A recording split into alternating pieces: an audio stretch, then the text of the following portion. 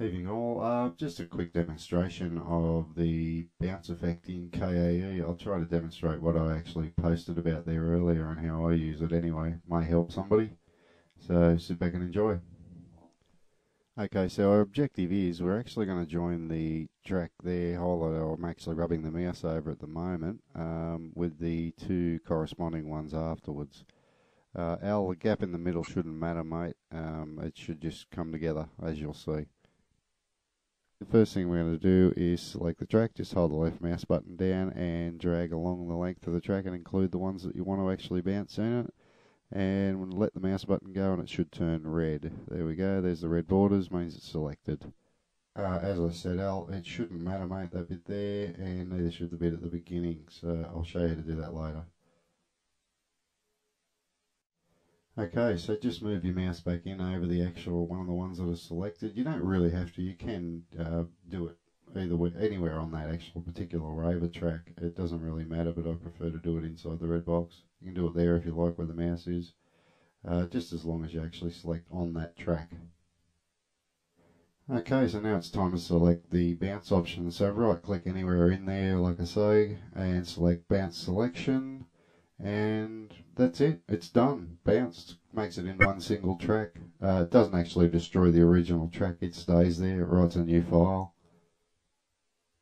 So now we'll actually deal with that gap at the beginning. I use this with the Colabs. It just makes everything, if you go back to the zero setting on the time bar, it actually makes it so much easier to sync it all up. So just arm the track to record and of course just jot up and record about a second, second and a half. That's anywhere around that area will do.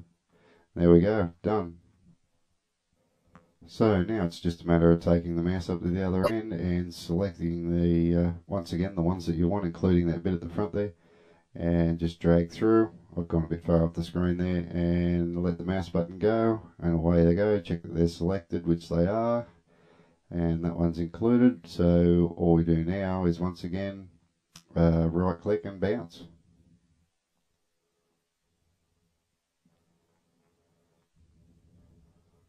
There you go, one track synced up to zero. As you can see, the obvious benefits are when you collab, but I'll just do the other track below while I'm talking. Um, if you don't do this, that bit there where the mouse is, um, when you go basically send the file over to someone else and they go to re-import it, they're all over the shop. They're not lined up. I, I just find it so much easier to go back to the triple zero. There's another one done there now. Same way I did before. So now I'm going to select the tracks individually with the control key, just saying the left mouse button, click on each one that you want in the in the bounce, um, and once again just click in there, go bounce, and away you go. That easy. I really do agree with Big B about saving the each file, uh, saving each project under a different name as you go. It just really helps if you've ever got a back step, you know, if you make a mistake and you've got to go back. So, uh, yeah, I agree with you, both. Okay, just watch this. This is an interesting thing. I'm going to use the cut and the paste to do it. Select them uh, with the control key, each ones that you want. Hold them down, left button. Now, I'm going to copy it onto the next track. I'll as you'll see in a minute here, I'll select copy from the menu. Um, I've just re unselected and reselected. I think that's what does it. So copy and click into the track that you want and watch what happens. For some unknown reason, uh, you watch, look, if it becomes multiple tracks. I don't know why. That's the anomaly of KAE. Okay, so now I'm going to select just individual tracks as you'll follow the mouse, um, just on that one that I just copied. So go and once again just control click it, the ones that I want. Start with that one there.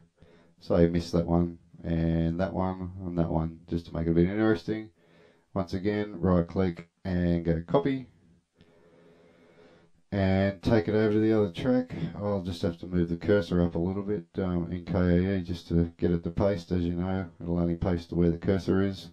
And go paste and it does it perfectly. So go figure. Okay, we'll just do it one more time just to show you that it wasn't a fluke. Uh, select a consecutive track or two. And same thing again. Deselect that one just for just to see what it does. Copy and paste it over onto the other track. Move the cursor back. Paste and it works perfectly. It's got me beat. I got no idea. I guess it's just one of the disadvantages of using freebie programs, but mate, it's KE. Who cares? So, tune in again next week when we take on the rather large and disturbing topic of latency. See you all. Thanks for watching.